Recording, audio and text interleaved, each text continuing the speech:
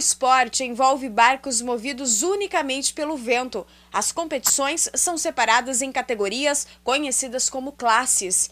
Em Foz do Iguaçu, o Yacht Club trabalha com duas classes: a Optimist para iniciantes e a Laser, dividida em três etapas.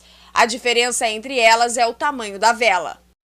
O iguaçuense Alan de Oliveira Godoy tem 19 anos, 7 só de carreira. Ele veleja na classe laser radial, mas está em transição para a Standard. O treino começa na preparação do barco.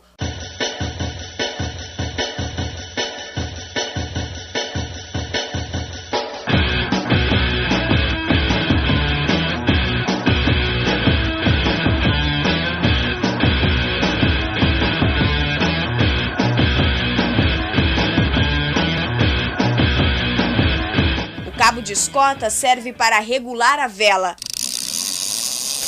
O leme é a direção do barco. As manobras, como inclinar o corpo ou fazer uma bombada quando o atleta passa de um lado para o outro, são para pegar velocidade e aumentar a eficiência em uma competição.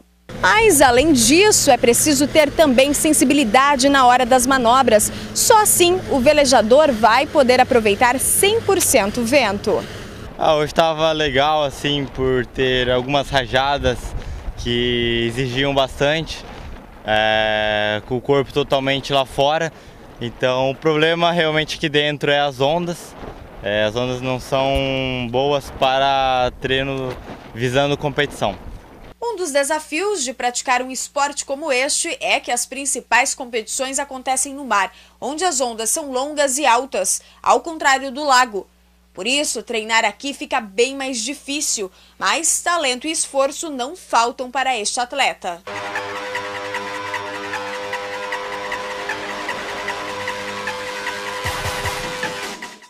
Casa do Iguaçuense, quase não há espaço para tantas conquistas. São lembranças de metas realizadas, campeonatos locais, estaduais, nacionais e internacionais. A última conquista foi o Campeonato Centro-Sul-Americano 2008, classe Laser 4.7, na Argentina. É grande orgulho de todos nós, né, que nós iguaçuenses, que nós pouco divulgado em, a vela é pouco divulgado no, em, no Paraná, né? Então esse é o nosso orgulho de nós ter um campeão brasileiro e um campeão sul-americano. Aqui ele busca inspiração para alcançar a próxima meta, o Campeonato Mundial de Laser Radial, que acontece em março em Nova Zelândia. A dificuldade, mais uma vez, é o patrocínio. Para tornar o sonho em realidade, ele precisa de 10 mil reais. Dificuldade do atleta no patrocínio, infelizmente, é um, uma, um grande pecado que acontece no nosso país. Então, preciso arrecadar esse dinheiro para poder participar desse campeonato, haja vista que eu fiz o meu planejamento de 10 mil reais para esse campeonato. Mesmo com dificuldades, os sonhos permanecem. A esperança fortalece o ideal de quem um dia não imaginou poder ir tão longe.